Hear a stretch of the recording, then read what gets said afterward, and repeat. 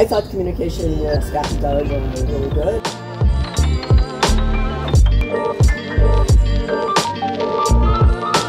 Flanagan wasn't the only person that we interviewed. That gave us uh, three different plans to look at. The one plan that we really liked was more of a curved design. We thought it was innovative. And we also liked to see all the landscaping that we were going to have. All right, so we're starting a new project today. The first thing we're gonna do is throw a service walk in this area.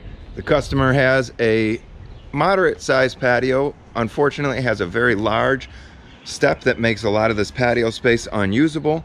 A seat wall for the sake of having a seat wall. We're gonna pull all this out. We're gonna give them a two layered patio with a walkway that is going to be much more functional. Look at little Scotty go! You wouldn't think that a guy that went to university for landscape design would want to spend all of his time digging holes with the guys, but he loves it and we can't get him to sit still in the office.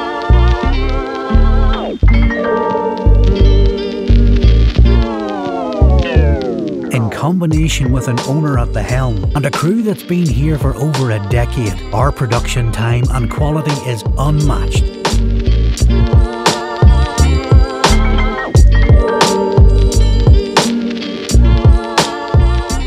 Once excavation is done, we start with 3 inch stone to fortify our base.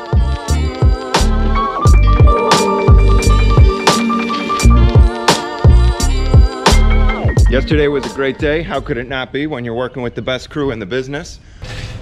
You can see the path is laid in.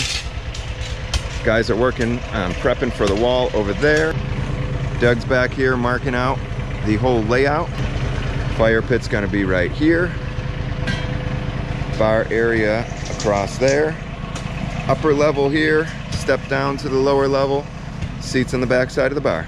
This spiral design, mimicking the Fibonacci sequence, was a much more complicated layout than your average patio. We enjoy having Doug around because he has such a passion for creating unique designs. But I can tell you that little Scotty was getting frustrated, trying to make everything perfect and conform to a spiral design that doesn't have one exact centre point, along with some very unique angles that you don't cut just every day.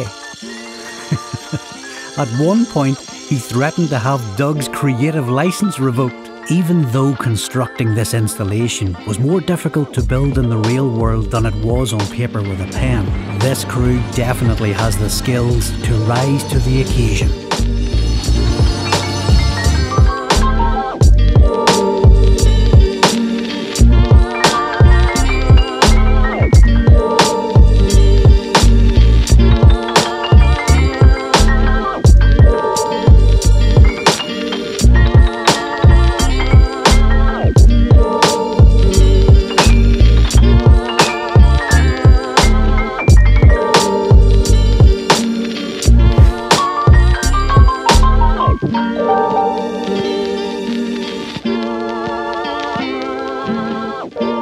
Working alongside and watching these three boys become men over the last 10 years has been an enjoyable and rewarding experience. They have learned so much since they started. Alex may still be a young one, but I would confidently put him up against the most experienced veteran any day of the week. And of course, their dad Jose is an industry MVP. I wake up in the morning excited to work with this crew.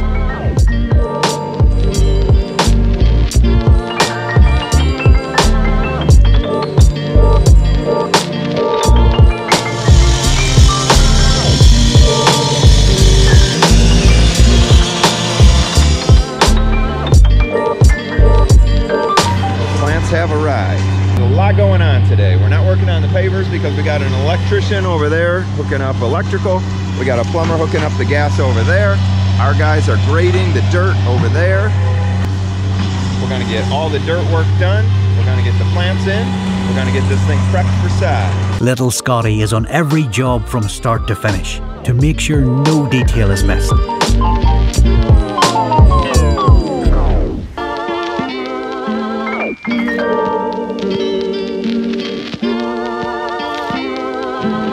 You see why we've been doing so much wheelbarrow work. This little machine is useful in the back, the big machine's in the front, but getting them in and out is not easy.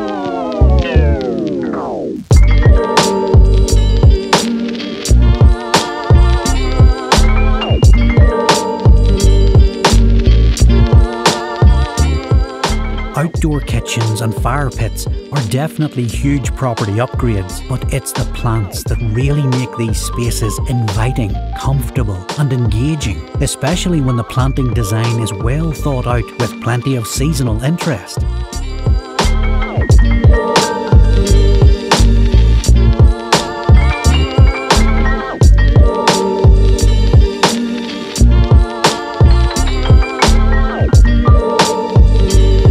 Was a steady progression to the work. I like the fact that the crew stays on the job till it's done. It makes you feel like you're the focus, and the goal is to get it done right.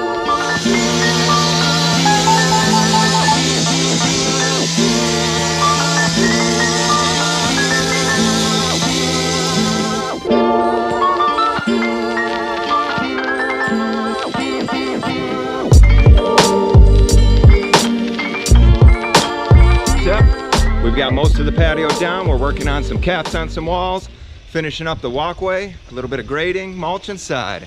And this project, it's a wrap.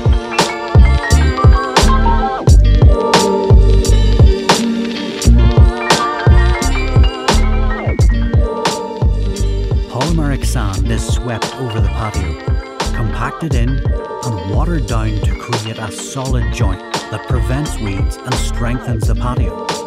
Sod is the magic eraser of the construction site. We really enjoyed working on this project and with this client. I was confident that it was going to look good in the end. had guests over to kind of just take a look at it. And one of the things that they comment about is while we have different seating groups, there's still one sort of focal point at the fire pit, and everybody is sort of engaged. And that's that's the other kind of neat thing about this particular design. Well, there it is. Another showstopper. If you want to see something like this in your yard, give us at Scott Flanagan Landscape a call. If you enjoyed this video, show your support by smashing the like button and subscribing to our channel.